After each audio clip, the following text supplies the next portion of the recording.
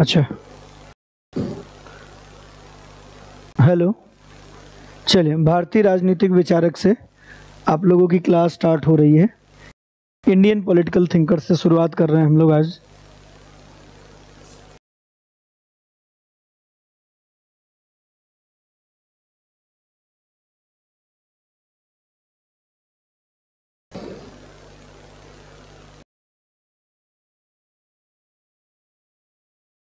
चलिए। भारतीय राजनीतिक विचारक से हम लोग अपनी क्लास शुरू कर रहे हैं। भारतीय राजनीतिक विचारक। इंडियन पॉलिटिकल थिंकर्स से हम लोग अपनी क्लास शुरू कर रहे हैं।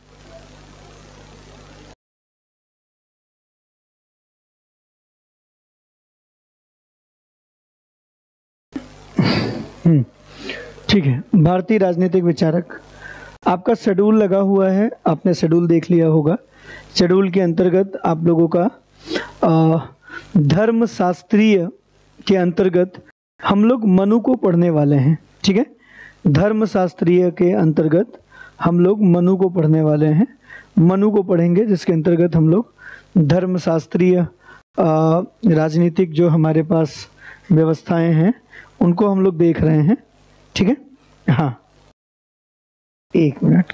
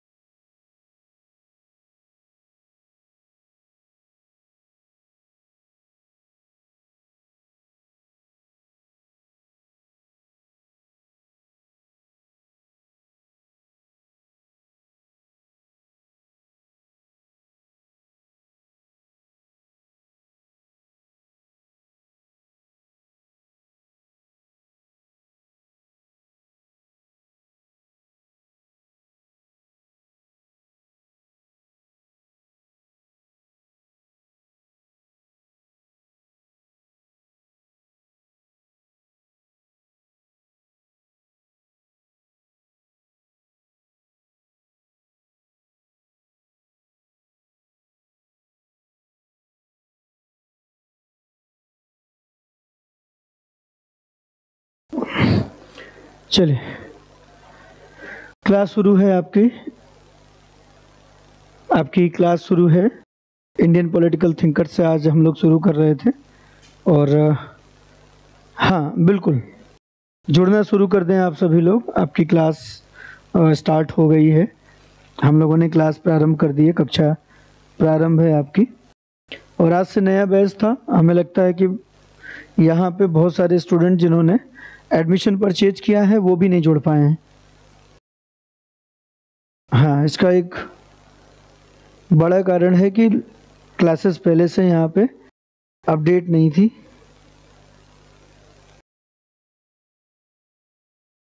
है ना? चलिए, हम लोग यहाँ पे देखते हैं कि क्या है। चलिए, पहले शुरू कर लेते हैं अपनी क्लास। आज हम लोग पढ़ने वाले हैं मनु। यहाँ पे आप देख सकते हैं मनु का शेड्यूल लगा है। ठीक है? हाँ मनु हम लोग पढ़ने वाले हैं। मनु क्लास लाइव है। क्लास लाइव है क्लास स्टार्ट है। और आप सभी जुड़ जाएँ। बिल्कुल क्लास में हैं और आप लोग जुड़ना शुरू कर दें। हाँ।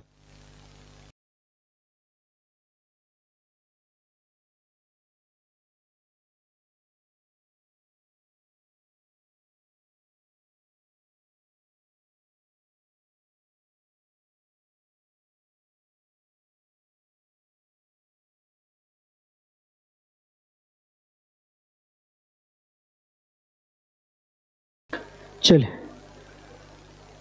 क्लास स्टार्ट है आपकी? हाँ। हम लोग आज पढ़ने वाले हैं, हम लोग आज पढ़ने वाले हैं मनु। मनु पढ़ेंगे हम लोग। मनु। मनु के बारे में जानने का प्रयास करेंगे हम लोग। बिल्कुल। मनु और कौटिल्य, ये दो लोग हमारे पास ऐसे हैं जो धर्मशास्त्रीय और अर्थशास्त्रीय दृष्टिकोण से राज्य की व्याख्या करते हैं। ठीक है? तो राज्य की व्याख्या धर्मशास्त्रीय और अर्थशास्त्रीय दृष्टिकोण से होता है। तो हम लोग मनु से स्टार्ट करेंगे। मनु से प्रारंभ करेंगे और मनु के बाद आपका शेड्यूल लगा होगा कौटिल्य का। कौटिल्य का लगा होगा। राजा राम मोहन राय को भी पढ़ना है हम लोगों को। ठीक है? राजा राम मोहन राय को भी पढ़ना है हम लोगों को। अगर मनु में हम लोग पढ़ेंगे तो मनु का क्या क्या पढ़ना है हम लोगों को? कैसे कैसे पढ़ना है? तो मनु की दो तीन बातें हमें पढ़नी है, जैसे हम लोग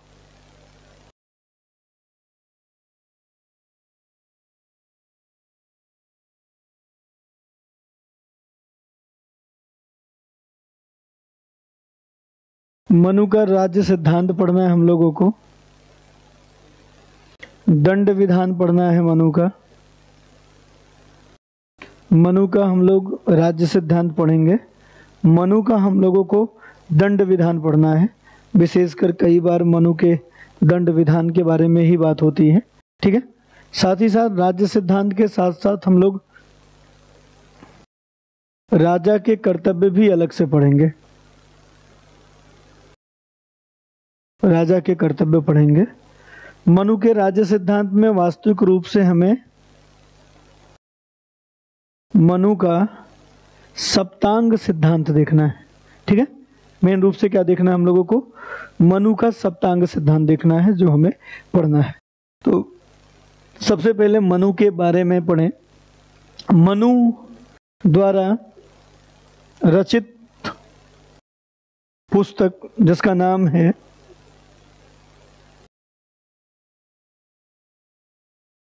मनु द्वारा रचित पुस्तक, जिसका नाम है मनुस्मृति। है ना? क्या नाम है? मनुस्मृति। ये जो मनुस्मृति है, मनुस्मृति, इसके बारे में विभिन्न प्रकार के विचार हैं लोगों के। और अलग अलग व्यक्ति मनुस्मृति को अलग अलग ढंग से कहता है। उदाहरण के लिए, अगर हम बात करें मनुस्मृति की तो मनुस्मृति के संबंध में हमारे दो बड़े समाज सुधारक राजनेता हैं।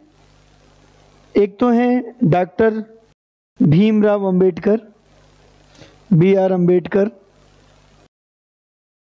और एक दूसरे जो हैं, वो हैं हमारे गांधी जी, महात्मा गांधी। है ना?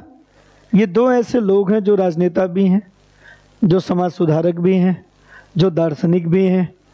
जो विद्वान भी हैं, इन दोनों लोगों के मत मनुस्मृति के संबंध में अलग अलग क्या कुछ खास है मनुस्मृति में?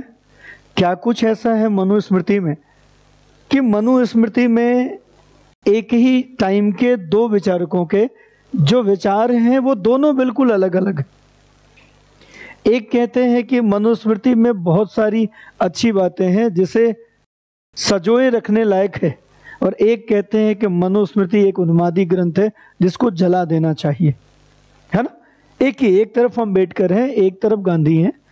और अंबेडकर का विचार अलग है और गांधी का विचार अलग है। ऐसा क्यों है? इसको समझेंगे। मनुस्मृति, क्या किसी एक व्यक्ति ने लिखा है?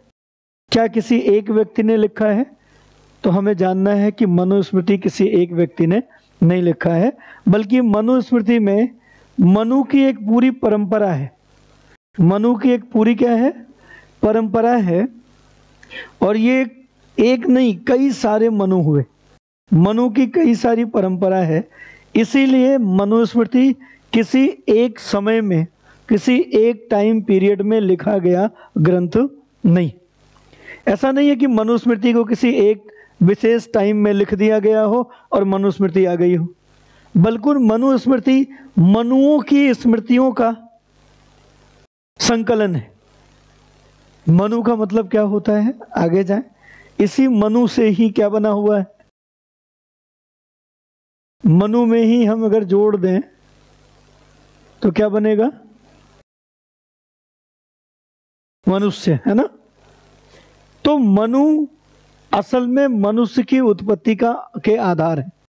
तो प्रारंभिक समय में जो मानव की उत्पत्ति थी, जो मानव थे, उन्होंने अपने समय की जो प्रशासनिक व्यवस्था थी, जो सामाजिक व्यवस्था थी, जो कमियाँ थी, जो अभाव था, उसको लिपिबद्ध करने का प्रयास किया। या उसको याद करके आगे अपने आने वाले पीढ़ी को बताते गए। और इस तरीके से पहले ये स्मृतियों में रहा होगा। पहले कैसे रहा होगा? स्मृतियों में, यादों में। और बाद में धीरे धीरे जब लिपि की रचना हुई तो इसको लिपिबद्ध भी किया गया। लेकिन जो लिपिबद्ध किया गया, क्या वो एक निश्चित समय पे? क्या एक निश्चित समय का? नहीं। बहुत दिनों की जो यादें थी, जो स्मृतियों में पीढ़ी दर पीढ़ी आगे बढ़ रही थी, उन्हीं को हम लोगों ने क्या कर लिया? यहाँ पर स्मृति में लिख दिया। इसलिए इसे हम लोग मनु स्मृति के नाम से जानते तो इसका आधार मुख्य रूप से जो मनुस्मृति है, मुख्य रूप से जो मनुस्मृति है, इनके विचार को हम मनु का विचार कहते हैं। और मनुस्मृति का पूरा का पूरा आधार जो है, आधार वो धर्म है धर्म है। इसलिए जब हम धर्म के चोले से राज्य को देखते हैं तो हम इसे धर्म शास्त्रीय हम इसे धर्म शास्त्रीय हम लोग इसे धर्म शास्त्रीय राजनीतिक विचार कहते हैं। राजनीतिक विचार।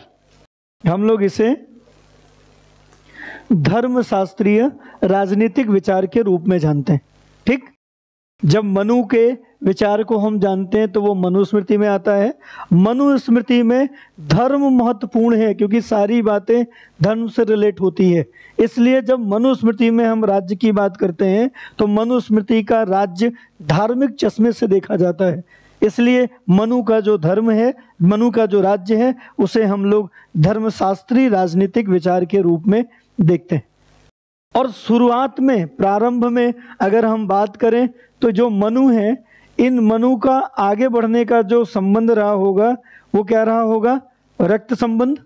और रक्त संबंध के बाद अगर किसी ने बड़े स्तर पर किसी व्यवस्था को, सामाजिक, राजनीतिक व्यवस्था को अगर जोड़ के रखा है तो वो कौन है? धर्म। रक्त संबंध तो राज्य का को स्थापित ही नहीं कर पाता, क्योंकि रक्त संबंध की एक बहुत लिमिट है। कितने दूर के रक्त संबंधों को आप याद रख पाते हैं। नहीं ना? तो ऐसे में फिर एकता जोड़ने के लिए किसकी आवश्यकता पड़ती है? धर्म की। तो मनुस्मृति एक बात की ओर घोषणा करती मनुस्मृति एक बात की घोषणा करती है कि दुनिया में, विश्व में विश्व में सभी प्रारंभिक राज्य धार्मिक राज्य ही रहे होंगे। धार्मिक राज्य ही थे, रहे होंगे क्या? थे, स्पष्ट कर रहे हैं कि विश्व में सभी प्रारंभिक राज्य कैसे राज्य रहे होंगे? धार्मिक राज्य रहे होंगे। विश्व के सभी प्रारंभिक राज्य धार्मिक राज्य रहे होंगे, ऐसा मनु स्पष्ट करते हैं। और मनु ये जो कह रहे हैं, ये ठीक भी कह रहे हैं। ठीक है ना? हाँ मनु जो कह रहे हैं, ये ठीक भी कह रहे हैं कि दुनिया के जितने भी प्रारंभिक राज्य रहे होंगे, सारे के सारे प्रारंभिक राज्य हमेशा से धार्मिक राज्य रहे होंगे। क्योंकि रक्त संबंध के बाद अगर किसी को ने एकता में लोगों को पिरो कर रखा है, जोड़ कर रखा है तो वो कौन रहा है? धर्म रहा है। ठीक?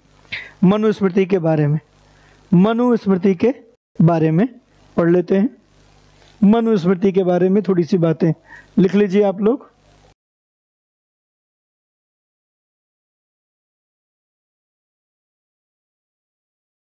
मनुस्मृति के बारे में थोड़ी सी बातें लिख लीजिए।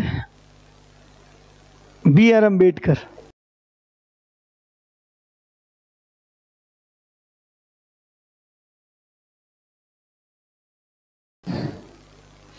अंबेडकर का विचार लिखें। उन्माद फैलाने वाली उन्माद फैलाने वाला विचार है।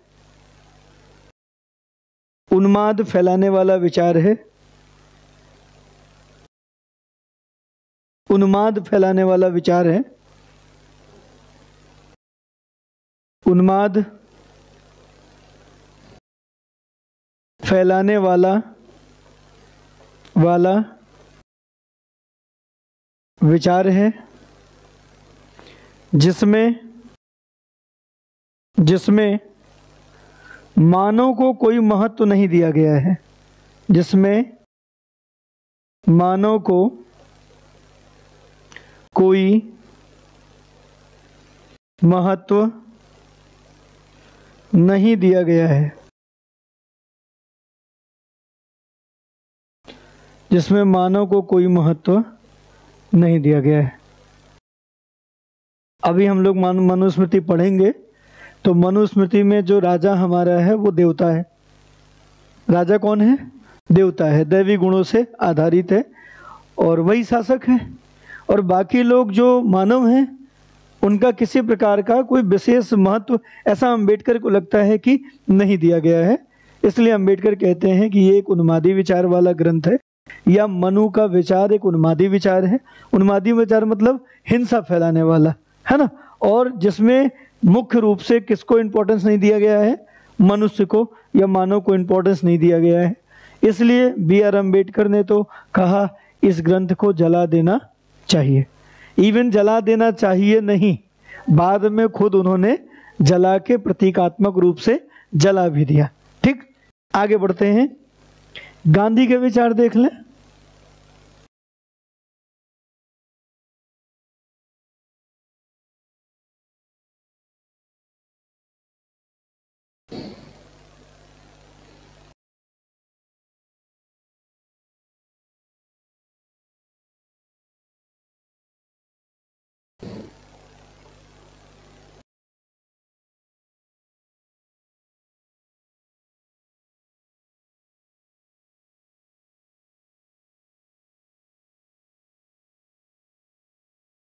महात्मा गांधी के विचार लिख लीजिए। महात्मा गांधी क्या कहते हैं इन संबंध में लिखे? मनुस्मृति में बहुत सारी मूलभूत बातें हैं।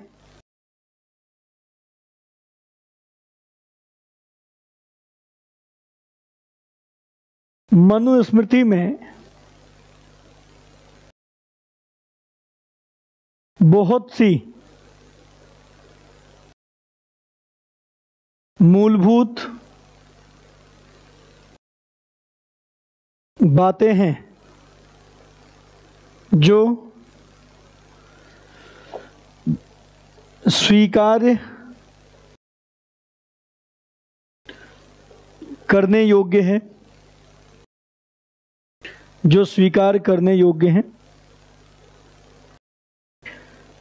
कुछ बातें अप्रासंगिक हो गई हैं।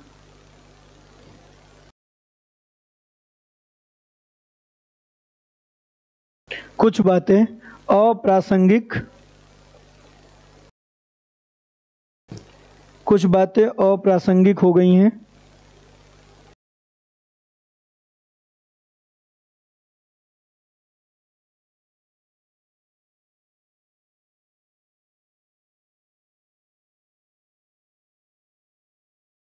अप्रासंगिक हो गई हैं।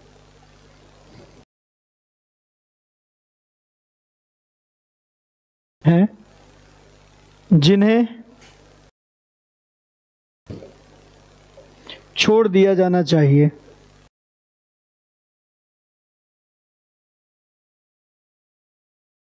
है ना? गांधी हैं, बड़ा बैलेंस विचार देते हैं मनुस्मृति के संबंध में। इनका कहना है कि मनुस्मृति में बहुत सी बातें मूलभूत हैं जिन्हें स्वीकार करना चाहिए। फिर कहते हैं कुछ बातें अप्रासंगिक इरेलीवेंट हो गई हैं। मतलब अब उनकी उपयोगिता समाप्त हो गई है, उन्हें छोड़ दिया जाना चाहिए। बहुत बैलेंस विचार है। गांधी ऐसा क्यों लिख रहे हैं? क्योंकि गांधी ये समझ रहे हैं कि मनुस्मृति के टाइम पे जो समाज था, जिस तरीके का समाज था, आज उस तरीके का समाज नहीं। उनके समय में जिस तरीके का समाज था, आज बहुत बदला, सभ्य और संगठित समाज है। तो बहुत सारी बातें जो उनके समय में सही थी, आज वो सही नहीं है।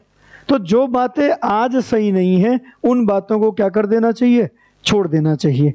लेकिन क्या संपूर्ण मनुस्मृति की सारी बातें छोड़ देनी चाहिए? नहीं। जितनी बातें इरेलीवेंट हो गई हैं, उतनी बातें छोड़ देनी चाहिए। सभी बातों को छोड़ने की ज़रूरत नहीं। और बहुत बार तो हम अपने इतिहास को इसलिए पढ़ते हैं कि हम अपने वर्तमान को ठीक ठीक समझ पाए।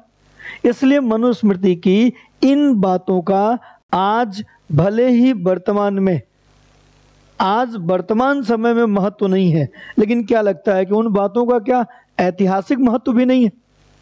अगर हम मनुस्मृति में लिखी गई बातों को पूरी तरीके से छोड़ दें, समाप्त कर दें तो हमें इतिहास भी लगता नहीं पढ़ना चाहिए। इतिहास में भी हम कमिलाई समाज की बात करते हैं, हम सामंतवादी समाज की बात करते हैं। आज तो नहीं है ना कुछ? और सामंतवादी समाज की व्यवस्था कबीलाई समाज की व्यवस्था क्या आज के समय में उपयोगी है? बिल्कुल भी उपयोगी नहीं है। तो हमें छोड़ देना चाहिए, जला देना चाहिए, किताबों से ये सारे शब्द हटा दिए जाने चाहिए। क्या ये बैलेंस विचार होगा? नहीं। इसका मतलब कि अंबेडकर के द्वारा जो विचार दिया गया, वो थोड़ा संकीर्णता के भाव से मनुस्मृति के संबंध में विचार अग्रेसित किए गए। गांधी कह रहे हैं साफ़ साफ़ कि मनुस्मृति में बहुत सी बातें मूलभूत हैं और वो आज भी मूलभूत हैं। आज भी मनुस्मृति में जो बातें कही गई हैं, वो आज भी मूलभूत है और आज भी एक्सेप्ट किया जाए तो आज का जो जातिगत हमारा कानून है, उसमें परिवर्तन आ सकता है। जो जातिगत व्यवस्थाएँ हैं, उसमें उदारता आ सकती है। मनुस्मृति में ही जातिगत व्यवस्थाओं का विरोध देखने को मिलता है। और अंबेडकर मनुस्मृति को ही जातिगत व्यवस्था स्थापित करने के लिए जिम्मेदार मानते हुए और जातियाँ कभी समाप्त नहीं हो जाती, इसलिए लोगों को हिंदू धर्म छोड़ने का ही उन्होंने क्या किया था? प्रोत्साहन दिया था और खुद पचास हज़ार लोगों के साथ उन्होंने हिंदू धर्म छोड़ के बौद्ध धर्म एक्सेप्ट कर लिया था, अपना लिया था। तो हम लोग देखते हैं कि मनुस्मृति में क्या इतनी ही बातें हैं, क्या इतना ही है। अगली बात लिख लीजिए। लिखिए एक और बात मनुस्मृति के संबंध में लिखे। लिखे, मनुस्मृति का पूरा कानून है ना? हमारे लिए ये इंपॉर्टेंट हो कि ना हो, लेकिन दुनिया में एक देश है जिसका नाम है इंग्लैंड, है ना? और इंग्लैंड के देश का संविधान कैसा है? अलिखित। अलिखित संविधान किस पे आधारित होते हैं? परंपराओं पर। और मनुस्मृति पूरा किस पे आधारित है? परंपराओं पर। स्मृति का मतलब क्या होता है? संहिता। और हम अपने संविधान को, कानून को क्या कहते हैं? संहिता। तो इंग्लैंड के लिए ये तो बहुत ही महत्वपूर्ण है। इंग्लैंड ने तो इसे राष्ट्रीय धरोहर के रूप में संरक्षित कर लिया। लिखिए, मनुस्मृति का पूरा कानून। मनु, स्मृति का पूरा कानून परंपराओं, पूरा कानून परंपराओं पर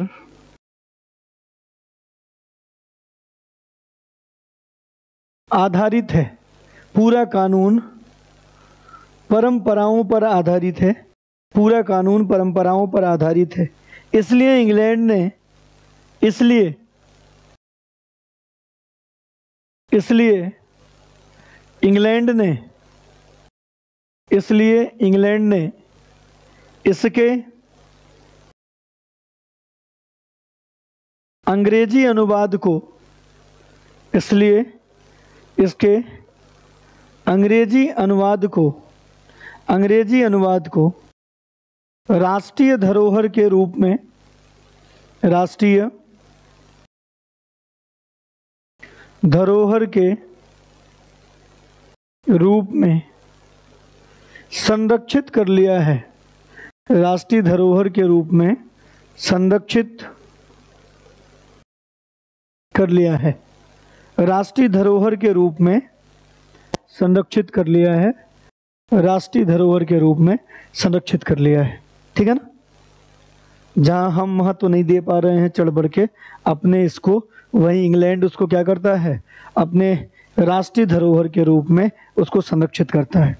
कुछ बातें और लिख लीजिए। मनुस्मृति एक ऐसी पुस्तक है। इसके बाद लिख लीजिए। मनुस्मृति एक ऐसी पुस्तक है। एक ऐसी पुस्तक है। जिसका महत्व? जिसका महत्व? राष्ट्रीय। जिसका महत्व राष्ट्रीय ही नहीं, बल्कि अंतर्राष्ट्रीय है। जिसका महत्व राष्ट्रीय ही नहीं, बल्कि अंतर्राष्ट्रीय है। जिसका महत्व राष्ट्रीय ही नहीं, बल्कि अंतर्राष्ट्रीय है। भारत में वेदों के बाद।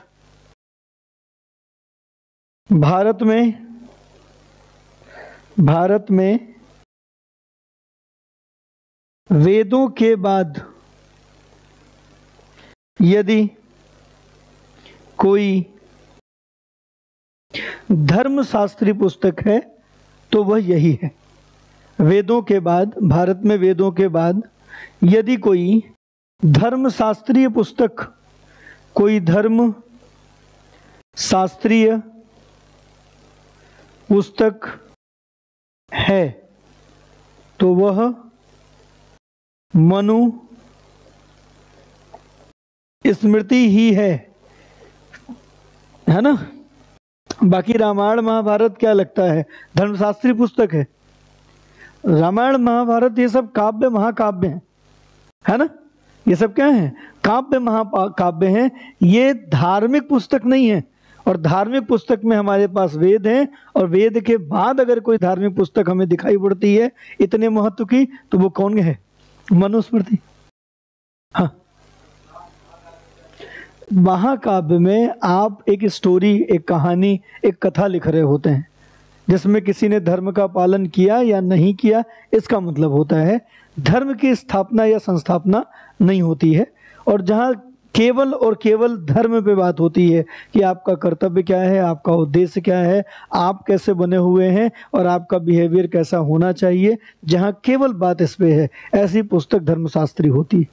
और मनुस्मृति में व्यक्ति के भी कर्तव्यों की चर्चा है और राजा के भी कर्तव्यों की चर्चा है और वो भी कैसे, क्या करना चाहिए, क्या नहीं करना चाहिए। जहाँ पे ये तय होना शुरू होता है कि क्या करना चाहिए, क्या नहीं करना चाहिए, वहीं से शुरू होता है नीति शास्त्र। क्या शुरू होता है? नीति शास्त्र। नीति शास्त्र में क्या सिखाई जाती है? नैतिकता। क्या सिखाई जाती है? नैतिकता। और हमारे यहाँ नैतिकता ही धर्म है और धर्म ही नैतिकता है। ठीक है ना? अब अगर हम रामायण की बात करें, अगर हम महाभारत की बात करें, या ऐसे बहुत सारे हमारे पास काव्य हैं तो इसमें कथा है। कथा में ये बताया गया है कि राम ने कैसे नैतिकता का पालन किया, कृष्ण ने कैसे व्यवहारिक नैतिकता का पालन किया, है ना? लेकिन इसमें ये नहीं बताया है कि करना क्या चाहिए, है ना? क्या करना चाहिए उस पर नहीं फोकस किया गया। इसके लिए जो कृष्ण ने किया, जो राम ने किया, वो नैतिकता है, उसका रेफरेंस भी फिर कहाँ से आएगा? मनुस्मृति से और हमारे वेदों से। नहीं रेफरेंस कहाँ से आएगा? मनुस्मृति और हमारे वेदों से। इसलिए शुद्ध रूप से धर्म शास्त्रीय पुस्तक जिसे हम मानते हैं तो वो वेद हैं हमारे, और वेदों के बाद अगर कोई है तो कौन है? मनुस्मृति ठीक? चलिए, आगे लिख लीजिए। मनु को मनु को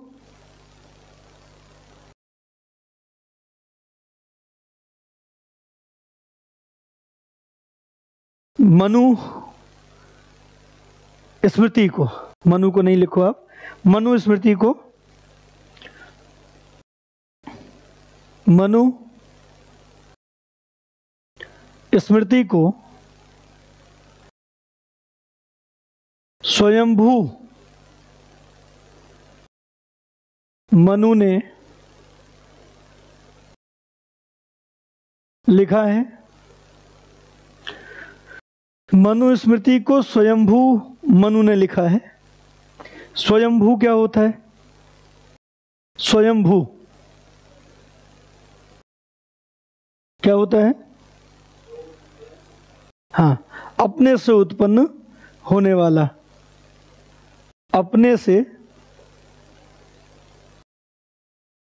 उत्पन्न होने वाला है ना क्योंकि हम लोग तो किसी न किसी से उत्पन्न हुए। लेकिन एक समय ऐसा रहा होगा, जब पहली बार कोई मनुष्य बना होगा तो उसकी उत्पत्ति कैसे हुई होगी? स्वयं से हुई होगी। तो स्वयं भू मनु। हम किसकी संतान है? मनु के। मनुष्य किसकी संतान है? मनु का। पूरी दुनिया में वो चाहे अंग्रेज़ हो, चाहे मुसलमान हो चाहे वो हिंदू हो, सब कौन है मनुष्य?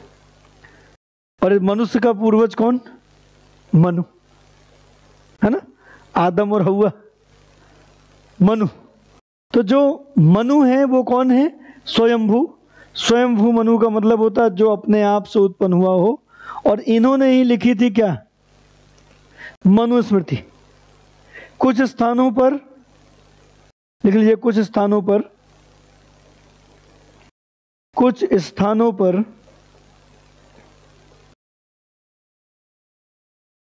मनुस्मृति की रचना का श्रेय महर्षि भृगु को जाता है। महर्षि भृगु को जाता है। दिया जाता है। महर्षु भृगु को दिया जाता है।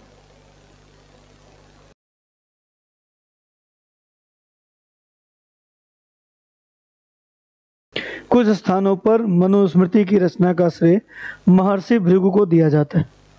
ठीक है? तो बहुत सारी बातें हैं यहाँ पर। हम लोग इनकी वर्ण व्यवस्था भी पढ़ेंगे। वर्ण व्यवस्था भी बड़ी महत्वपूर्ण है। और गांधी वर्ण व्यवस्था को एक्सेप्ट करने वाले हैं। कि नहीं? गांधी वर्ण व्यवस्था को एक्सेप्ट करते हैं। मनुस्मृति की विषय वस्तु की बात करें, थोड़ा सा लिखना होगा क्योंकि मनुस्मृति पे ना तो आपके पास बहुत किताब होती है, ना तो आपके पास बहुत डेटा होता है। तो मनुस्मृति की विषय वस्तु नोट कर लीजिए।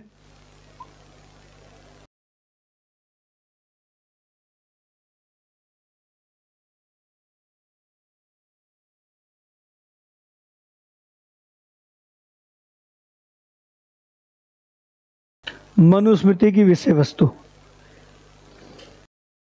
लिखिए। कुल बारह अध्याय हैं।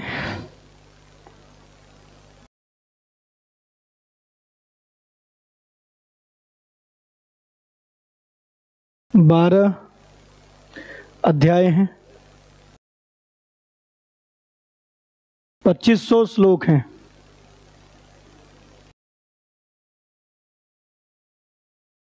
पच्चीस सौ श्लोक हैं। अभी मैं दो चार दिन से मनुस्मृति पढ़ रहा था। सबसे ज़्यादा ज़ोर आपके बिहेवियर पे दिया गया है, मनुष्य के व्यवहार पर। आपका बिहेवियर कैसे होना चाहिए? तो गलती से जो खुला चैप्टर वो खुल गया, गुरु, शिष्य, संबंध। है ना? गुरु, शिष्य, संबंध। सोचो, कम से कम बीसों श्लोक केवल इस पे लिखे हैं। कि शिष्य का बिहेवियर गुरु के प्रति कैसा होना चाहिए। तो बीसों श्लोक हैं। इसमें केवल यही बताया गया है, एक शिष्य को गुरु के साथ कैसा बिहेवियर रखना चाहिए। एक शिष्य के लिए गुरु क्या महत्व रखता है है ना? बीस श्लोक तक हम पढ़ पाए। अभी और भी, है ना? सोचो। और जो मेरे पास मनुस्मृति है, वो ढाई सौ श्लोकों वाली है भी नहीं। वो मुश्किल से डेढ़ सौ डेढ़ सौ श्लोक होंगे। ढाई सौ नहीं, ढाई हज़ार। दो हज़ार पाँच सौ श्लोक वाले नहीं, वो मुश्किल से डेढ़ सौ श्लोक होगी, सोच लो। और एक एक छोटी से छोटी बातों को वहाँ पे उद्धृत करने का प्रयास किया गया है। समय कहाँ लोगों के पास पढ़ने का? हम लोगों के पास भी पढ़ने का समय नहीं है। नहीं तो एक बार मनुस्मृति को अगर किसी ने ठीक से पढ़ लिया, आज भी बहुत बड़े स्तर पे आप देखो मनुस्मृति का विरोध होता है। आज भी सोशल मीडिया पे कोई भी व्यक्ति अगर समण की बात करता है कोई भी व्यक्ति अगर कुछ ऐसी बात करता है जिसमें थोड़ा भी प्राउडनेस लगता है तो आदमी कहता है कि ये मनुवादी ये मनुवादियों की सोच, ये मनुवादियों की सोच, ये मनुवादियों की सोच, है ना? इवन जो जेएनयू के जो लोग हैं, जो जेएनयू के स्टूडेंट हैं, उनके अंदर भी ये गोबर डाल दिया गया है, मनुस्मृति के खिलाफ, है ना? वो भी कहते हैं कि हमें आज़ादी चाहिए, किससे आज़ादी चाहिए? मनुवादियों से। कौन है मनुवादी? जो भी अपने को मनुष्य मानता है, वो मनु का वंशज है और वो मनुवादी है। आप अपने को जानवर मान लो, तभी आप मनु से परे हो सकते हो। अन्यथा, जेएनयू में पढ़ने वाला हर छात्र अगर अपने को मनुष्य मानता है तो उसे मनु को मानना होगा। है ना? मनुवाद जैसी कोई चीज़ नहीं है। मनु साफ़ साफ़ लिखते हैं कि प्रत्येक व्यक्ति अपना समाज में परिस्थिति, अपनी स्थिति, अपने कर्मों से बनाता है, अपने जन्म से नहीं। है ना? किससे बनाता है? कर्मों से, जन्म से नहीं। तो जब बात ही खत्म हो गई, जब बात ही आपके कर्मों पे डाल दी गई तो फिर जाति व्यवस्था के संरक्षक, जाति व्यवस्था के निर्माण करता मनु तो हुए नहीं। है ना? ब्राह्मणवाद से छुटकारा, क्या है ब्राह्मणवाद? अब जब जन्म से ही शूद्र अपने को शूद्र मानने लगे, जन्म से ही वैश्य अपने को वैश्य मानने लगे तो जन्म से ही ब्राह्मण ब्राह्मण होने लगे और जन्म से ही छत्री छत्री होने लगे। सारी गलती एक पक्षी नहीं है। कि ब्राह्मणों ने जन्म से अपने को ब्राह्मण बना लिया, फिर उनके कर्म कुछ भी रहे हो, उन्होंने अपने को ब्राह्मण माना। शूद्रों ने भी जन्म से अपने को शूद्र माना, और फिर कभी उनको लगे ही नहीं कि वो ब्राह्मण का कार्य कर सकते। लिहाजा गलती बराबर की। फिर भी अगर इस तरीके की बातें हम देखें तो मनु के सबसे पहले मनु के ब्राह्मण और मनु के शूद्र को देखना होगा हमें। है ना? सबसे पहले किसे देखना होगा? मनु का ब्राह्मण कौन है और मनु का शूद्र कौन है? मनु ने अपने विचारों में चार वर्ण व्यवस्था पे सब जगह ज़ोर नहीं दिया। और जहाँ जहाँ उन्होंने दंड व्यवस्था, न्याय व्यवस्था, अन्य विधानों की बात की, वहाँ हमेशा उन्होंने दो वर्गों की बात की। हमको लगता है मार्क्स बड़ा प्रभावित हो गया होगा किससे? मनु से। मनु ने भी अपने विचार मार्क्स ने भी अपने विचारों में कितने वर्गों को हमेशा रखा? दो वर्गों में। है ना? यहाँ पर मनु के लिए एक वर्ग है ब्राह्मण और दूसरा वर्ग है शूद्र। और जब जब ये ब्राह्मण की बात करते हैं तो इसका बात, इसका मतलब होता है विद्वान। और जब जब ये शूद्र की बात करते हैं तो इनका मतलब होता है मूर्ख से। है ना? और समाज में दो ही टाइप के लोग होते हैं। या तो विद्वान है, या तो मूर्ख है। हमें कैसे लोगों के साथ होना चाहिए? हमें किन लोगों का अनुकरण करना चाहिए? मूर्खों का कि विद्वानों का? हमें किसका अनुकरण करना चाहिए? किसकी बात माननी चाहिए? मूर्ख का कि विद्वान का? विद्वान का? तो जब आप विद्वानों की बात मानोगे तो फिर किसकी बात मान रहे हो आप? ब्राह्मण की। फिर कहा जाने लगा कि नहीं, ब्राह्मण, ब्राह्मणों ने कब्जा कर रखा था आदेश देने पर। भाई, खुद अंबेडकर को बैठा लो और अंबेडकर से पूछो कि ये मूर्ख है और ये विद्वान है। आप किसकी तरफ़ हैं? अंबेडकर कहेंगे, हम विद्वान की तरफ़ हैं। अंबेडकर को कहो कि आप अपने को क्या मानते हो, मूर्ख की विद्वान? क्या बताएँगे? जहाँ तक मुझे महसूस हो रहा है कि वो अपने को विद्वान बताएँगे। तो अगर वो अपने को विद्वान बताते हैं अकॉर्डिंग टू मनु अंबेडकर क्या होंगे? है ना? अकॉर्डिंग टू मनु अंबेडकर क्या कहलाएँगे? ब्राह्मण कहलाएँगे। आज संविधान निर्माण का कार्य में सबसे इंपॉर्टेंट रोल किसका है? बी आर अंबेडकर का है। अगर आज भी मनु होते और मनुस्मृति में कुछ ऐड कर रहे होते तो अंबेडकर को क्या कह रहे होते? ब्राह्मण की शूद्र ब्राह्मण कह रहे होते। छोटा सा सिंपल सा कॉन्सेप्ट है।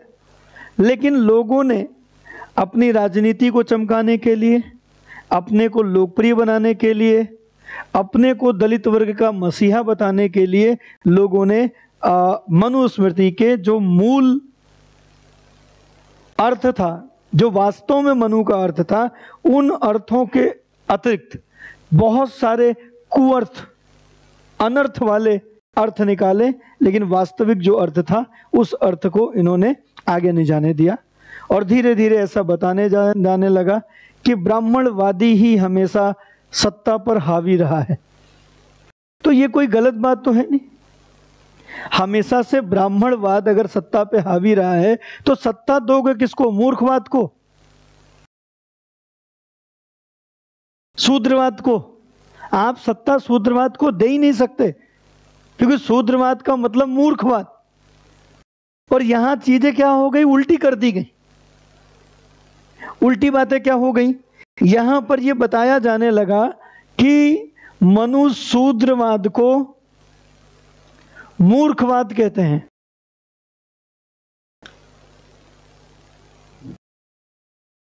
मनु शूद्रवाद को मूर्खवाद नहीं कह रहे मनु मूर्खवाद को शूद्रवाद कहते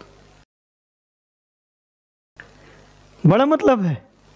शूद्रवाद को मूर्खवाद कह दोगे तो अभी जो अपने को शूद्र की कैटेगरी में मानते होंगे, जैसे दलित वर्ग है, दलित वर्ग को लगता है कि शूद्र शब्द का इस्तेमाल हमारे लिए होता है।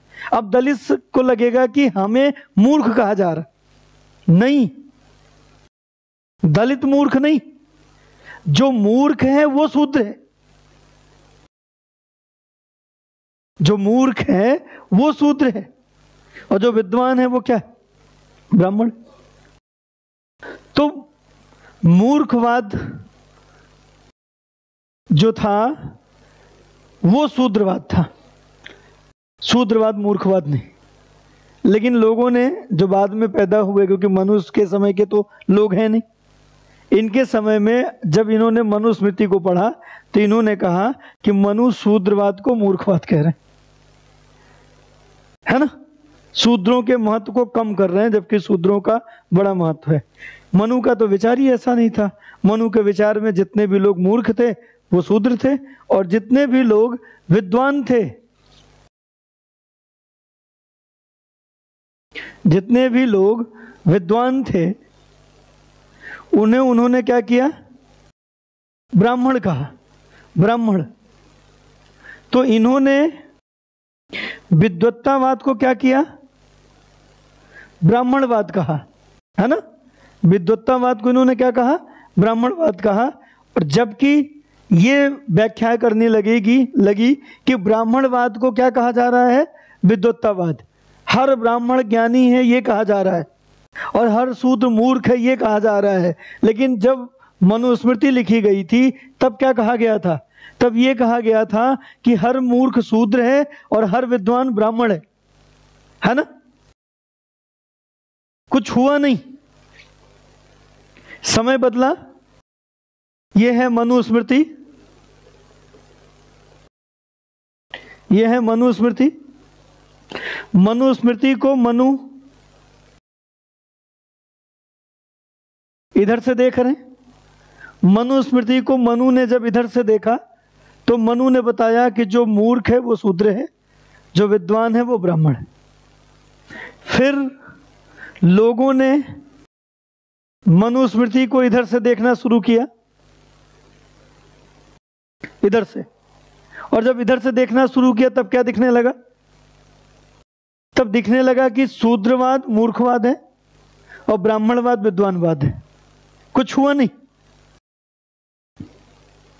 एक ही चीज़ को एक ऊपर से देख रहा था तो कुछ और दिख रहा था, और एक नीचे से देख रहा था तो कुछ और दिख रहा था।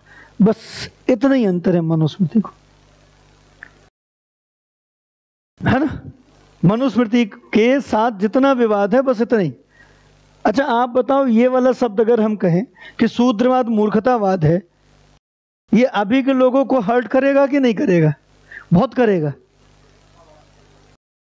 लेकिन जब मनु कह रहे थे कि मूर्खतावाद, शूद्रवाद है, तब किसी को हर्ट हो रहा था। मूर्ख को हर्ट होता ही नहीं। मूर्ख जानते ही नहीं मूर्ख के बारे में क्या बात है। मूर्ख को लगता है वो हमेशा विद्वत्ता का काम कर रहा तो इसलिए जब मूर्ख को शूद्र कहा गया, तब कोई हर्ट नहीं हुआ। क्योंकि मूर्ख मूर्ख ही है। उसको पता ही नहीं शूद्र कह दो, चाहे जो कह दो। और विद्वान को ब्राह्मणवाद कहा गया। अब ये उल्टा हो गया। और जब उल्टा हो गया तो लोगों ने जब उल्टा देखना शुरू कर दिया तो जो उसकी श्रेणी में आने लगे, उन्होंने कहा, नहीं नहीं, यही सही है। है ना? फिर जो यहाँ ब्राह्मण थे, इन ब्राह्मणों ने कहा, नहीं, यही सही है। हर ब्राह्मण विद्वान और हर शूद्र मूर्ख। सारी लड़ाई शुरू हो गई। तो इसमें गलतियाँ दोनों की बराबर हैं। एक बार तटस्थता से अगर मनुस्मृति की बातों को देखना शुरू कर दें, मनुस्मृति के अर्थ को समझना शुरू कर दें तो हमें लगता है कि मनुस्मृति सबसे महत्वपूर्ण धार्मिक सबसे महत्वपूर्ण राष्ट्रीय धरोहर के रूप में हमारे लिए हो सकती। हम जब पढ़ते हैं कि हमारे संविधान का स्रोत इंग्लैंड का संविधान है, अमेरिका का संविधान है, जबकि हम ये कह सकते हैं कि इंग्लैंड के संविधान जो दुनिया में संविधान की जननी मानी जाती है, उसके भी संविधान का स्रोत मनुस्मृति। है ना? उसके भी संविधान का स्रोत क्या है? मनुस्मृति है, क्योंकि मनुस्मृति अत्यंत प्राचीन ग्रंथ है, और इस मनुस्मृति में जो परंपराओं के रूप में जो संहिता बनाई गई है, ऐसी ही संहिता तो है इंग्लैंड का संविधान। ऐसी ही संहिता है इंग्लैंड का संविधान, और बाद में ऐसी ही संहिताओं को जब लिपिबद्ध किया गया तो बन गया अमेरिका का संविधान। और हमारे यहाँ परंपराओं को लिपिबद्ध करने का सबसे पहला काम मनुस्मृति में हुआ है। तो अमेरिका के लिखित संविधान का भी आधार मनुस्मृति है और इंग्लैंड के परंपरागत संविधान का भी आधार मनुस्मृति है। दुनिया में संविधानवाद की शुरुआत ही यहाँ से होती है, मनुस्मृति से होती। नहीं, अगर उदार विचार हम इसका करने लगे, उदारता से इसकी बातों को देखने लगे तो हमारे पास तो इससे बड़ा राष्ट्रीय धरोहर होगा ही नहीं। तो मनुस्मृति में हमने देखा कि बारह अध्याय और ढाई हज़ार जो है श्लोक हैं। लिखिए, मनुस्मृति को भारतीय आचार संहिता का विश्वकोश माना जाता है। इसे भारतीय आचार संहिता का विश्वकोश माना जाता है।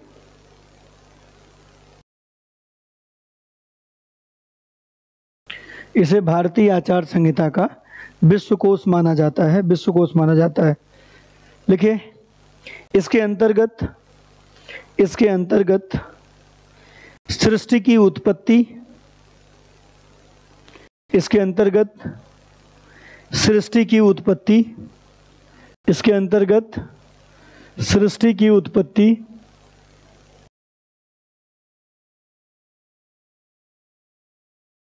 इसके अंतर्गत सृष्टि की उत्पत्ति। नित्य नित्य नैमित्तिक कर्म। नित्य नैमित्तिक कर्म।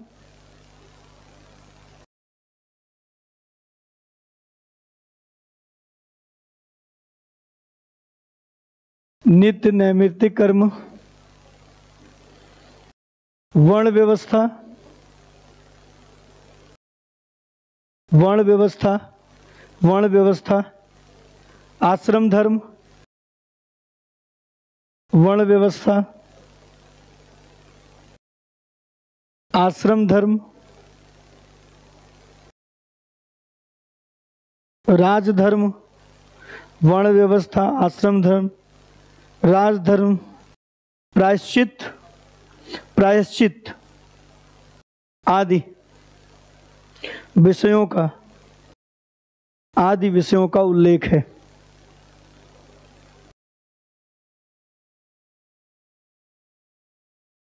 प्रायश्चित आदि विषयों का उल्लेख है। आदि विषयों का उल्लेख है। आदि विषयों का उल्लेख है। लिखिए। बारह अध्यायों के, बारह अध्यायों में, बारह अध्यायों में निम्न विषय दिए गए हैं। बारह अध्यायों में, बारह अध्यायों में निम्न विषय दिए गए हैं।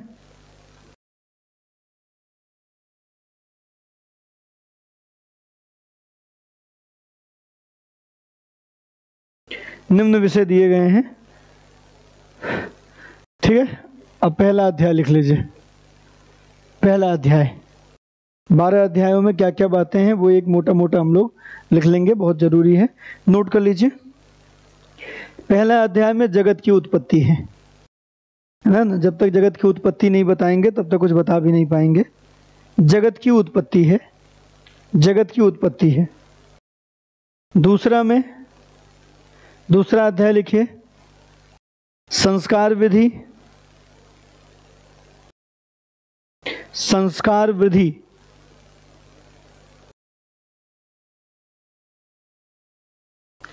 वृतचर्या संस्कार विधि वृतचर्या उपकार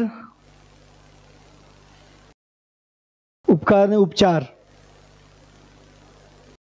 उपचार, यज्ञ, संस्कार यज्ञ संस्कार यज्ञ संस्कार माता पिता तथा गुरु माता पिता तथा आचार्य, गुरु को आचार्य कहते हैं माता पिता माता पिता तथा आचार्य, सह व्यवहार सह व्यवहार। माता पिता तथा आचार्य, सह व्यवहार व्यवहार व्यवहार, तथा आश्रम के संबंध में उल्लेख है। कौन सा आश्रम? वर्ण आश्रम वर्ण आश्रम भी लिख सकते हैं, तथा वर्ण आश्रम के संबंध में उल्लेख है। वर्ण आश्रम के संबंध में उल्लेख है। वर्ण आश्रम के संबंध में उल्लेख है। दूसरा लिख, तीसरा लिखिए। तीसरा। तीसरा। तीसरा में लिखना है स्नान। स्नान। विवाह लक्षण।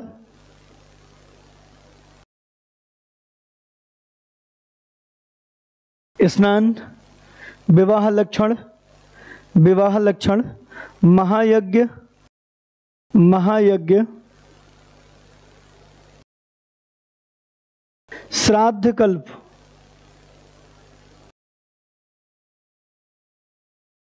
श्राद्ध कल्प। श्राद्ध कल्प। श्राद्ध कल्प। समझते हैं श्राद्ध।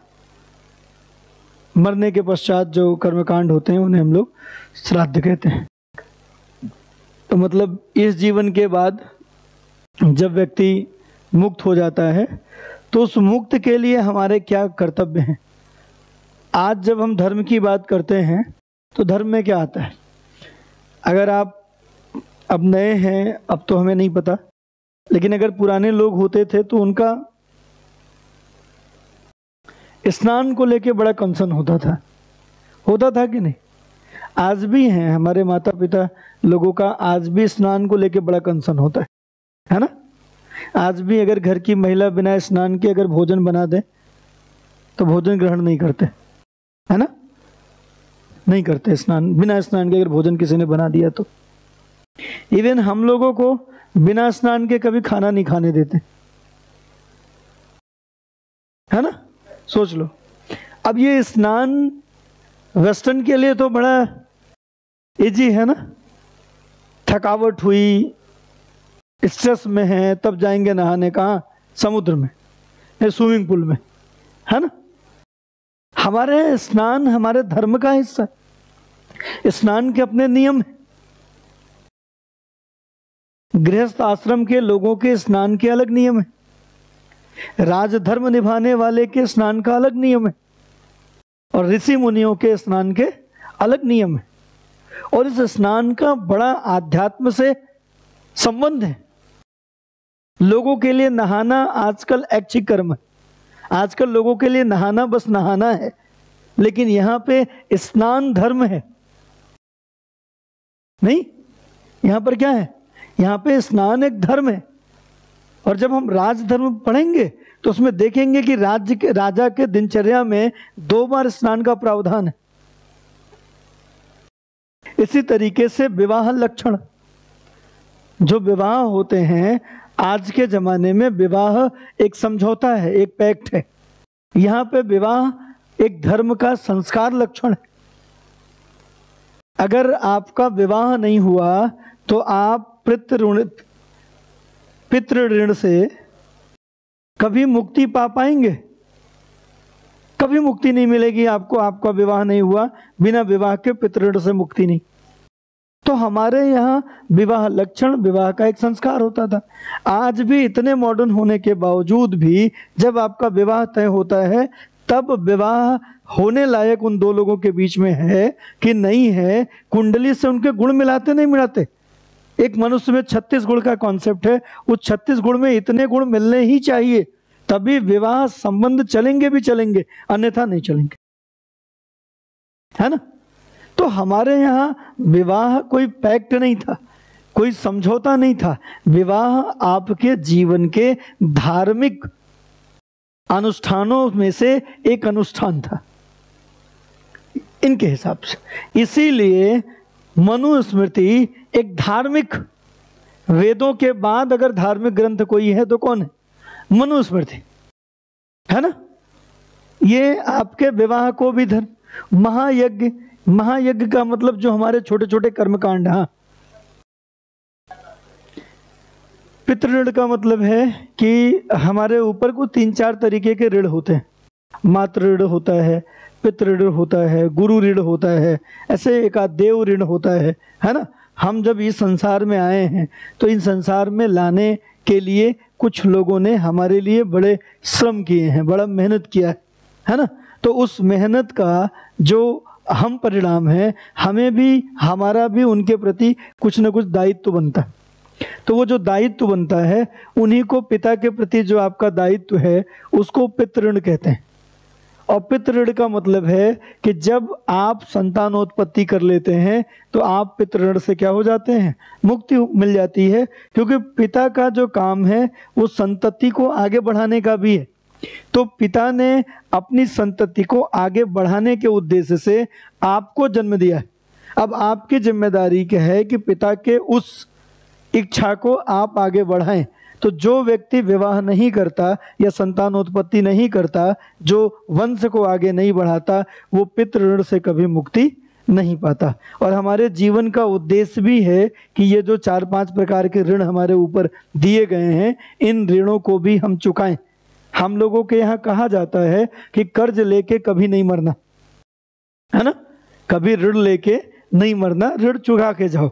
तो ऐसे चार ऋण हमारे जन्म के साथ ही दो ऋण माता पिता के हमारे ऊपर और देव ऋण आ जाता है और बाकी का फिर गुरु हमारे ऊपर ऋण चढ़ा रहा होता है। तो गुरु ऋण भी होता है ना? आचार ऋण भी होता है। तो गुरु का भी ऋण चुकाना आपकी ज़िम्मेदारी है। नहीं, गुरु मांग लेता था, अंगूठा दे दो। ऋण था उसके ऊपर आपका। है ना? वो ऋण आपने चुकाया तो इस तरीके से ये ऋण चुकाने का तो ये अलग ही सामाजिक व्यवस्था को संगठित करके हमारा धार्मिक उपक्रम था। है ना? हम लोग कभी समझते नहीं इसके बारे में, जानना नहीं चाहते। हम तो जानते हैं कि बस चेतन भगत की नोबेल पढ़ लो, इससे ज़्यादा मज़ा कुछ में नहीं है है ना? कभी अपने ये ग्रंथ उठा के देखो, इसकी वैज्ञानिकता, इनकी सोच, इनका संगठन, इनकी बातें। आज भी हमें अगर अपने पुत्र का नाम रखना था तो हमने वेद उठाए। वेद उठा के नाम निकाला। पता लगा गणेश जी का नाम है अद्वितीय। किसका नाम है? गणेश जी का नाम है अद्वितीय। क्यों? क्योंकि गणेश जैसा कोई है? कोई दूसरा दिखा गणेश जैसा? नहीं। गणेश अपने आप में क्या है? अद्वितीय है ना? यूनिक आज भी, आज के समय में जितने भी लोग हैं सेलिब्रिटीज हैं, आज वो अपने बच्चों के नाम के लिए अंग्रेज़ी की डिक्शनरी नहीं उठाते। हमारे पुराने हिंदी नामों को खगालते ऐसे ऐसे नाम हैं। है ना? ऐसी ऐसी चीज़ें हैं कि पूछो नहीं, है ना? किसी का नाम ईला है। लोगों लगता है ईला नाम अंग्रेज़ी नाम है, ईला नाम हिंदी नाम है है ना? तो इस तरीके से बड़े अच्छे अच्छे नाम लोग आज सोचते हैं। हमारा वेद पुराण इससे भरा पड़ा है। ज्ञान का अथाह सागर है। अगर आपको कभी आनंद की डुबकी लगानी है तो वेस्टर्न साहित्य नहीं, भारतीय साहित्य। नई अनुवाद वाला संस्कृत वाला अपना साहित्य देखो आपको आइडिया लग जाएगा कि आप वाकई में कुछ विशेष कर रहे हैं कुछ बड़ा कर रहे हैं। नोट करके ख़त्म करिए उसके बाद कल से हम लोग मनु का राज दर्शन पढ़ेंगे। आज इंट्रोडक्शन हो गया और आज यहाँ पर आ, लोग जुड़े नहीं हुए हैं। एक भी एक सिंगल स्टूडेंट यहाँ पे नहीं जुड़ा हुआ है क्योंकि इन लोगों ने क्लास नहीं लगाई है। ठीक? चलिए। चौथा लिख लीजिए। वृत्ति लक्षण। वृत्ति लक्षण। वृत्ति लक्षण समझते हैं? आपके अंदर हम लोग करते हैं ना व्यापार? हाँ? हम लोग जो काम करते हैं, व्यक्ति वही काम ठीक से करता है जिसके अंदर, जिस काम करने की वृत्ति होती है। है ना? वृत्ति हमारे अंदर होती वृत्ति लक्षण। स्नातक वृत्त। स्नातक वृत्त। वृत्ति लक्षण।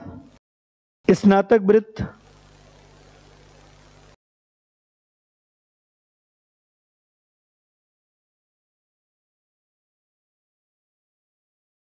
तथा मनुष्य की संपूर्ण दिनचर्या का उल्लेख है। मनुष्य के संपूर्ण दिनचर्या का उल्लेख है।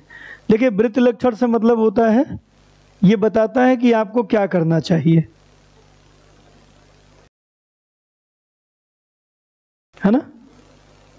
कहा नहीं जाता है कि आदमी को चीज़ों को करने से पहले ये अपने को समझना होता है कि वो किस काम में परफेक्ट है। है ना? पहले हमें खुद की खोज करनी होती है कि हम क्या कर सकते हैं। ये वही वाला बात है। वृत्त लक्षण ये बताता है कि वो व्यक्ति किस काम में माहिर हो सकता है और उसे क्या करना चाहिए और क्या नहीं करना चाहिए। साथ ही साथ वो उसकी जो दिनचर्या है, उसको भी बताया गया है। अगला, पांचवा।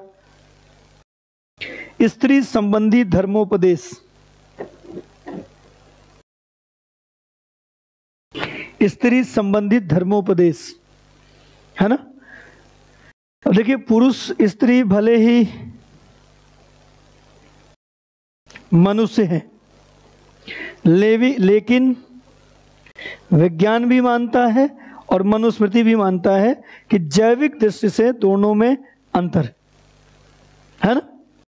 दोनों ही मनुष्य हैं, लेकिन जैविक दृष्टिकोण से दोनों में अंतर है। इवन हमारा संविधान भी मानता है। हमारे संविधान में भी आर्टिकल 39 का जो ए है, वो जैविक रूप से मानता है कि महिलाओं और पुरुषों में अंतर है।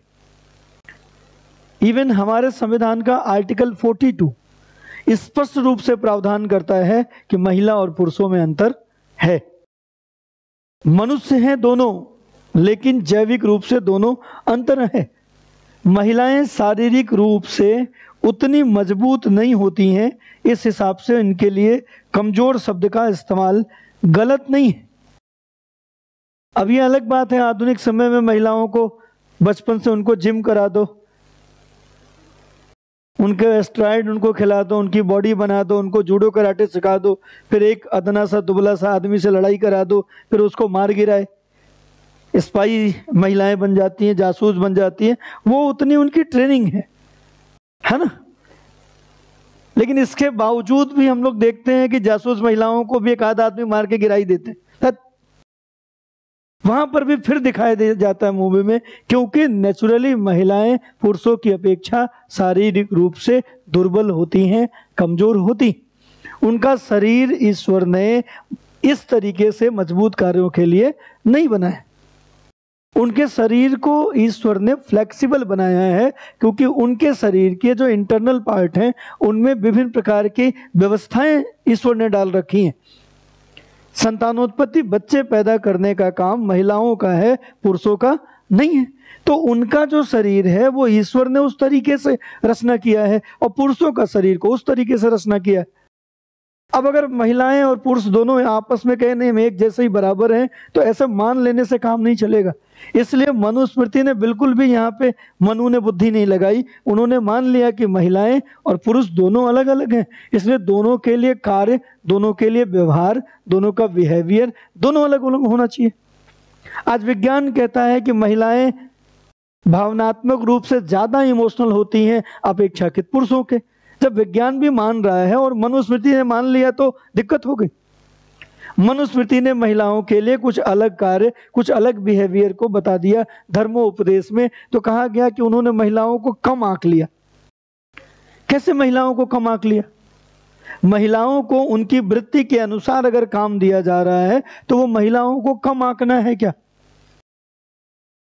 वो महिलाओं को कम आंकने जैसा नहीं है। उनको उनके सुख के लिए उनका काम दिया जा रहा है। अब अलग बात है, किसी महिला को पसंद है कि चल के वो गोली चलाए तो चलाए, लेकिन क्या लगता है कि महिलाओं को गोली चलाना पसंद है? अधिकांश महिलाओं को आप बात करोगे तो अधिकांश महिलाएँ इस तरीके की परेशानी वाला काम नहीं लेना चाहती, क्योंकि उनके नेचर में नहीं है। पुरुष पुरुष धोखेबाज होता है। पुरुष कम ईमानदार होता है, क्योंकि इमोशनली पुरुष जो है, वो ज़्यादा स्ट्रोंग होता है। इसलिए जो जहाँ इमोशंस का काम है, वो महिलाओं को दिया जाए और जहाँ कम इमोशंस का काम है, वो पुरुषों को दिया जाए। ये ज़्यादा उचित रहेगा कि महिलाओं को वो काम दिया जाए जहाँ पे कम इमोशंस की ज़रूरत है और महिलाएँ वहाँ इमोशंस वाली जाएँ और लगातार दुखी रहें। जहाँ इमोशंस का काम है, वहाँ महिलाओं को दिया जाए और जहाँ कम इमोशंस का काम है, वो पुरुषों को दिया जाए। सामान्य सी बात है ना? यहाँ धर्मोपदेश में विशेषकर महिलाओं के स्त्री के संबंध में धर्मोपदेश दिया गया है। शिक्षा का वर्णन है, नोट कर लीजिए। शिक्षा का वर्णन है। हाँ उसी में। शिक्षा का वर्णन है। शिक्षा का वर्णन है। शौच तथा अशुद्धि से संबंधित बातें। शौच तथा अशुद्धि से संबंधित बातें। शौच तथा अशुद्धि से संबंधित बातें। गांधी भी कहते हैं, गांधी बड़े प्रभावित हैं। गांधी ने कहा कि बहुत सारी बातें आधारभूत हैं। गांधी भी अपने विचार में वर्णाश्रम की व्यवस्था करते हैं। साथ ही साथ महिलाओं के संबंध में कहते हैं कि महिलाओं को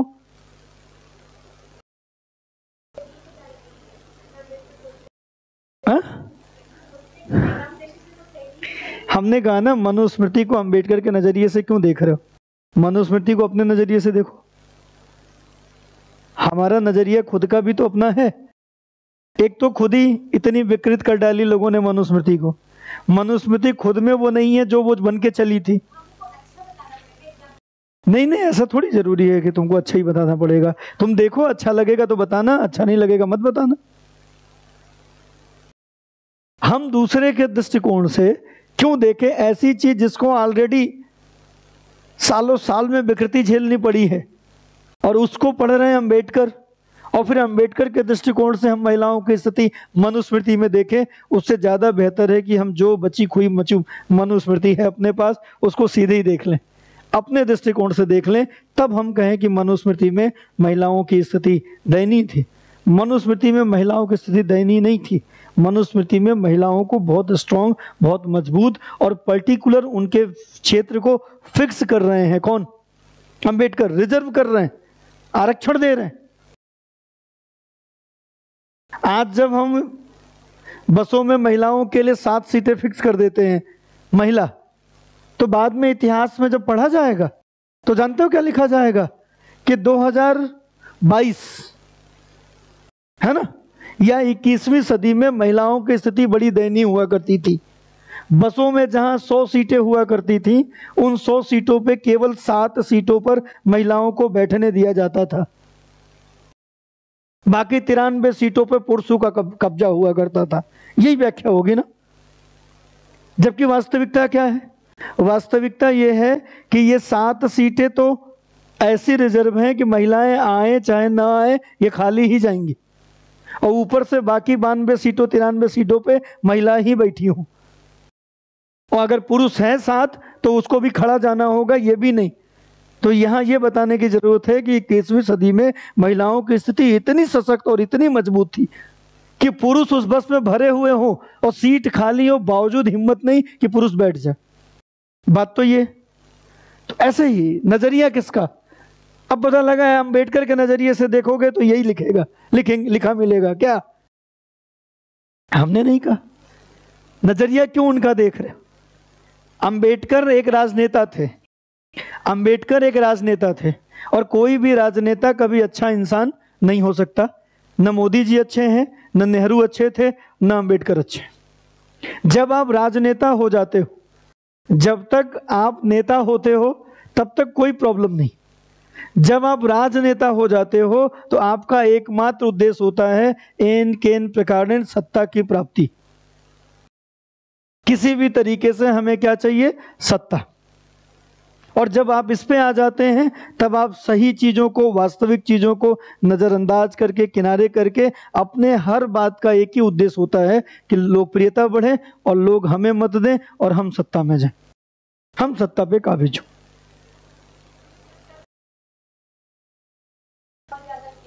हाँ? क्या? किसने? किसके लिए? हाँ तो वो तो कहेंगे ना। कहेंगे नहीं, जो दलित लोग थे उनके लिए अंबेडकर ने काम किया। और आपको पता अंबेडकर से भी ज़्यादा काम महिलाओं और दलितों के लिए गांधी ने किया। गांधी ने सबसे ज़्यादा काम किया। कभी आपने देखा कि अंबेडकर ने दलितों का मेला फेंका हो? लेटरिन फेंकी हो? गांधी ने? गांधी ने पूरा आंदोलन चला रखा था। दलित बस्तियों में जाते, उनके जो मेले होते, उसको उठा के अपने हाथों से फेंकते। इतना काम किया। लेकिन गांधी बने कभी दलितों के मसीहा? कौन बना? अंबेडकर बना। अंबेडकर को कभी धोती कुर्ता पहनते देखा? कभी पैजामा कुर्ता पे लोगों के बस्तियों में जाके सफ़ाई करते देखा? लेकिन वो दलितों के मसीहा। और गांधी एक कपड़ा लपेटते थे, एक कपड़े में खाली पैर डंडा लिए और सफ़ाई करते हुए सब कुछ अपने सुना देखा पढ़ा और गांधी मसीहा नहीं हुए। ये है राजनीति, ये है पॉलिटिक्स। आप हमारे वर्ग से बिलोंग करते हैं, इतनी ही बड़ी बात है। क्या आपको लगता है कि अंबेडकर अंबेडकर अंबेडकर की पढ़ाई कहाँ हुई थी? भारत के किसी गरीब सरकारी स्कूल में? या इंग्लैंड और अमेरिका और कैलिफ़ोर्निया में पढ़ाई करी उन्होंने। कैसे? स्कॉलरशिप से। आज भी स्कॉलरशिप बिज़नेस है, तब पर भी स्कॉलरशिप बिज़नेस था। सहयोग किया। किसने सहयोग किया? किसी राजा ने। क्यों राजा ने सहयोग किया? कौन थे राजा? दलित वर्ग से थे। सहयोग किया? नहीं ना।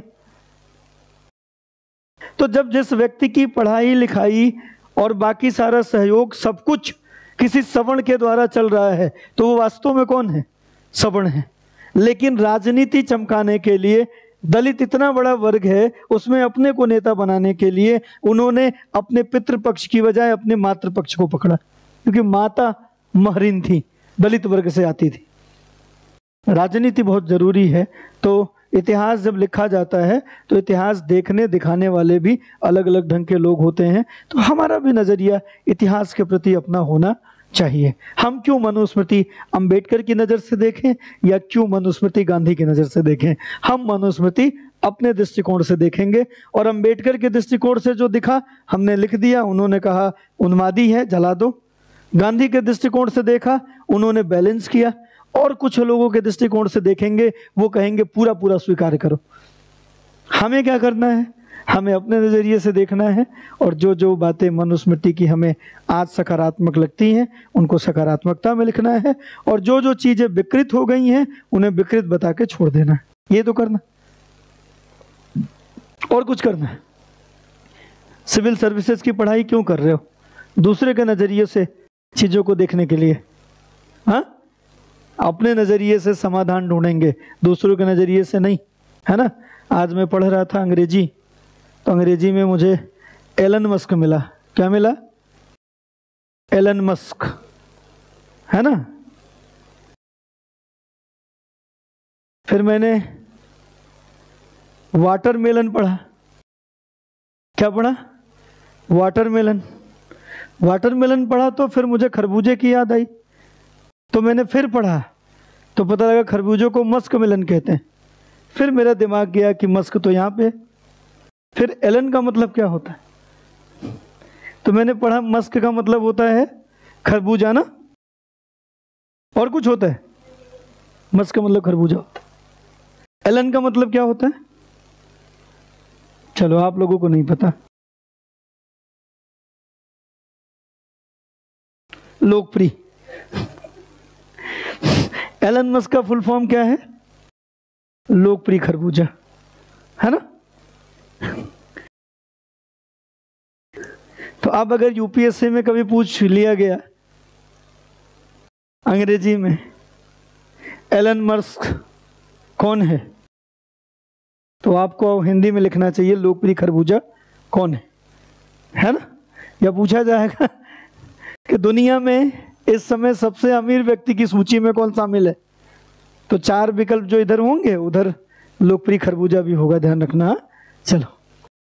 कुछ ना कुछ पढ़ते रहिए, करते रहिए। हमने तो एलन मस्क को लोकप्रिय खरबूजे के रूप में देखा। नहीं? आप लोगों ने किस रूप में देखा? वो आप जानिए। आप एलन मस्क को बस एलन मस्क समझते हैं ना? मैं लोकप्रिय खरबूजा समझता हूँ। ठीक? हमें ज़्यादा मज़ा आएगा ना एलन मस्क का नाम सुन के, कि आपको अब हमें ज़्यादा मज़ा आएगा। अब आपको भी आने लगेगा। ठीक? तो अब मनुस्मृति की बातें या मनु की बातें यहीं ख़त्म करते हैं। बाकी की जो बची है वो कल, क्योंकि समय हो गया है। दो बार हमने यहाँ पे एक्सटेंड किया है क्लास कल हम लोग मनु का राजदर्शन पढ़ेंगे। ये चार पाँच कितने? पाँच छः पॉइंट लिखा? पाँच, सात और बचे हुए हैं। उसको कल लिख लेंगे और उसके बाद राजदर्शन शुरू कर देंगे। ठीक? तीन दिन लगेगा मनु को पढ़ने में। आज एक दिन हो गया, कल और परसों दो दिन। उसके बाद कौटिल्य शुरू हो जाएगा ठीक है? चलिए धन्यवाद।